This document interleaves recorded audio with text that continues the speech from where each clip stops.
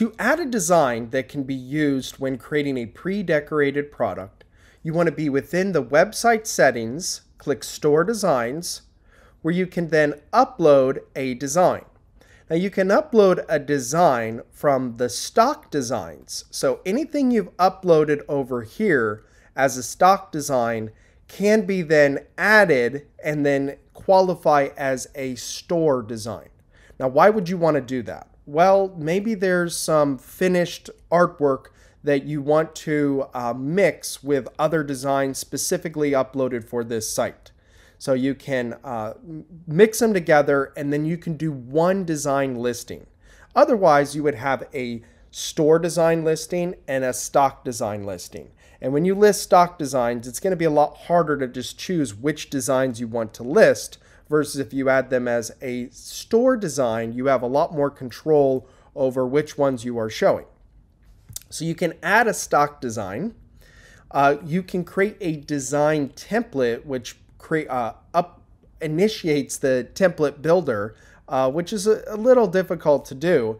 Um, but you can absolutely build a design template for customers to use on this specific site. If you're going to do this, it's a better idea to do it here in stock designs and, and build a template there. That way you can use them on any website. If you build a template within this site, you can only use it within this site.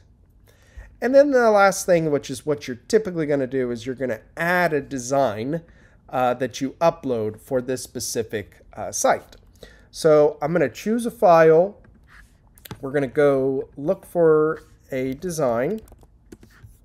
Now, if I were to upload a vector, I would be able to change the colors of the design uh, using the design tool when I'm creating a pre-decorated product or if my customer is allowed to edit the design using the design tool. So just keep that in mind. If you can upload a vector, absolutely do that. Um, if it's embroidery, you really want to be uploading a .emb file. So customers can use as decoration. I'm going to put it in the category logo. Uh, customers can change image colors. Again, this really only applies if I'm uploading a vector. And I can choose if I want it at the top or the bottom of the list. Um, I also could choose what processes can be used with this design after I've uploaded it and configure the meta information. Um, so anytime somebody is searching on the site, it, it's going to show up uh, based on those uh, that meta information. So you can see here's the artwork that I uploaded. Um, I could come in, designate process, override the meta. Um, once I'm in here, I can discontinue the design. Uh, I can control how the background uh, is used. Is it automatic? Do I want to have it always black, always white, or something else? It's really that simple. Um, after you've uploaded designs, you can apply a watermark to them if you would like.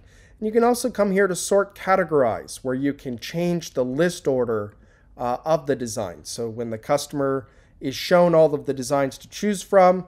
Obviously, it's going to top to bottom, left to right uh, will be the list order, which can often be a very important, um, especially when you're having the customer first select a design, then a product to place an order. Hopefully you find this video helpful. When you have questions, just come up to the top uh, where you can search many great help articles, click on the question mark, where you can raise a support ticket with client services who is there to answer questions and help you whenever you're running into problems. Again, hopefully you find this video helpful and thank you for watching.